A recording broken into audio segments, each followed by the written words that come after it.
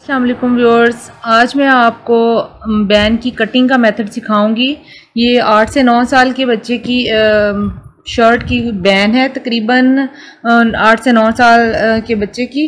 तो आज मैं आपको सिखाऊँगी ये डीप शेप में कॉलर को बैन को कट करने का मेथड है। वैसे तो स्ट्रेट से शेप में होता है, लेकिन ये जैसे रेडीमेड सूट्स के थोड़ा डीप बैन होती है। तो उसकी नेक पे शेप बहुत प्यारी आती है। तो आज मैं आपको वो सिखाने जा रही हूँ। इसके लिए आप सबसे पहले जो जिन चीज़ों की ज़रूरत है, वो ये है। सबसे पहले आप एक चिप्स बुकरम, ये हार्ड जेंट्स की चिप्स बुकरम होती है मार्केट से मिल जाती है इजीली हर शॉप से नल की बटन जिस पर होते हैं, ये देखें, ये, इस साइड से चिपकने वाली साइड होती है और इस साइड पे दूसरी साइड होती है। आप तकरीबन ये काटेंगे, इसकी लेंथ मैंने ली है fourteen and half fourteen and half, eight to nine year के बच्चे की पैन की पट्टी काटने के लिए आप लेंगे। फोर एंड हाफ़ इसकी वेथ ले लें। उसके बाद आप तकरीबन ये वन इंच से थोड़ा सा कम, टू सेंटीमीटर कम जो है, यहाँ तक आप निशान लगा लें। और इधर से तकरीबन वन इंच ले लें। ठीक है? ये हमने निशान लगा लिया है। अब आपको यूँ ट्रायंगल शेप में वन इंच तक मार्क कर लेंगे। वन इंच तक, तकरीबन, ठीक है? अब ऐसे ही आप इस कॉर्नर में भी। वन इंच से टू सेंटीमीटर तकरीबन कम हमने इधर निशान लगाया था और वन इंच हमने इधर निशान लगाया था। ये बिल्कुल स्ट्रेट आ गया। इसको आप ऐसे ही वन इंच तक मार्क कर लें। ठीक है, अब आपने इसका बिल्कुल मिड कर लेना है। ऐसे करके। मिड का ऐसे निशान लगा लें। चाहे तो ऐसे लगा लें। ये मिड हो गया है।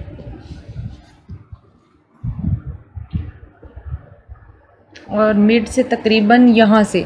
निशान इस साइड पे है, आपने इस साइड पे तकरीबन वन इंच ऊपर भी मार्क कर लेना है। ठीक है? और ये यहाँ से हमने वन इंच लिया था और मिड से हम वन इंच से थोड़ा सा ज़्यादा लेंगे, टू सेंटीमीटर। थोड़ा सा चौड़ा बैन रखेंगे। वन या टू सेंटीमीटर जितनी आप उसकी चौड़ाई रखना चाहते हैं। अब आप इसको राउंड शेप दे लें। बिल्कुल ऐसे। यहाँ से थोड़ा स्ट्रेट होगा और यहाँ आके आप बिल्कुल बे शेप में बनाएँगे। यहाँ से जितना डीप होगा, यहाँ से उतना ही ये बैन की शेप जो है वो अच्छी आएगी। यहाँ से आपने बिल्कुल बे शेप में बना लेना है। याद रहे कि आप इसकी मेज़रमेंट करते रहें, सारा एक जैसा ही हो। ये देखें, यहाँ से भी। साइज़ सेम हो।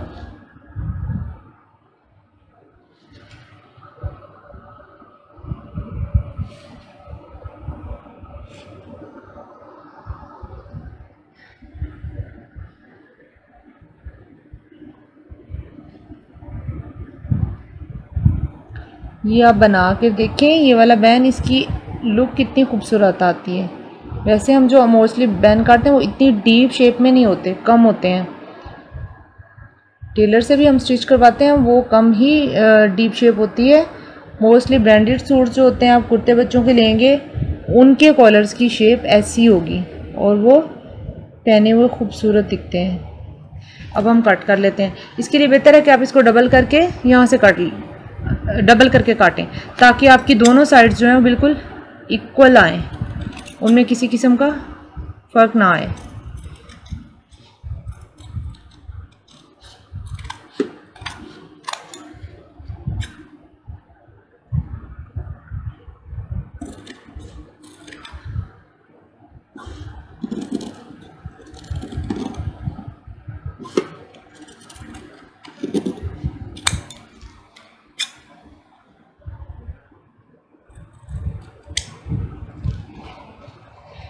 ये देखिए, ये हमारी बिल्कुल राउंड सी शेप है।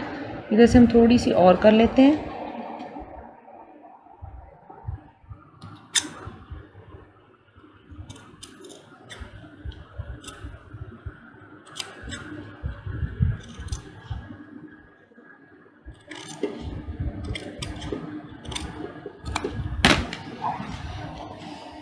ये देखिए, बिल्कुल बे शेप है ये। इतना डीप वरना मोस्टली ऐसे सीधा होता है बैन। देखिए बे शेप में जितना ज़्यादा ऐसे होगा, और अगर आपने गर्ल्स के लिए बनाना है तो आप उसको तकरीबन बहुत ज़्यादा, इतना ज़्यादा बे शेप में बनाएँ तो वो जब स्टिच होगा तो बिल्कुल आपकी नेक के साथ चिपक जाता है। वो खड़, खड़ा सा नहीं रहता बैन। बैन मोस्टली जब हम बनाते हैं तो वो खड़ा खड़ा सा रहता है। ये देखें, ये जब आप बनाएँगे ऐसे, बिल्कुल ऐसे ऐसे इसकी शेप आ जाएगी। नेक जैसी। तो ये खूबसूरत लगता है। अब हम इसको कपड़े के साथ अटैच करेंगे। इसके लिए आप डबल फोल्ड कपड़ा ले लें। दो पीसेस देखें टू पीसेस हैं इसके। और ये इतना लेना है कि आपने ये ऐसे रखें इसको तो चारों साइड से इसकी सिलाई के लिए तकरीबन हाफ़ इंच या उससे भी ज़्यादा थोड़ा मार्जिन रह जाइए, देखें। हमने इसको यहाँ फिक्स करना है।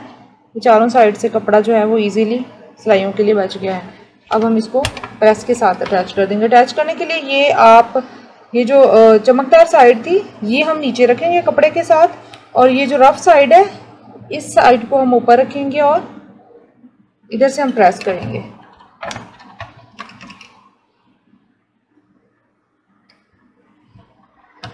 इसके लिए आप बेशक हल्का हल्का शावर कर लें तो सही अटैच हो जाती है। से पहले अगर आपने हमारा अभी तक चैनल सब्सक्राइब नहीं किया तो आप सबसे पहले हमारे चैनल को सब्सक्राइब कीजिए, बेल आइकॉन को भी दबाना है और नीचे लाइक के बटन को ज़रूर दबाइएगा ताकि आने वाली हर नई वीडियो आप तक इजीली पहुँच सके। ये अब चिपक चुकी है पट्टी, ये देखें।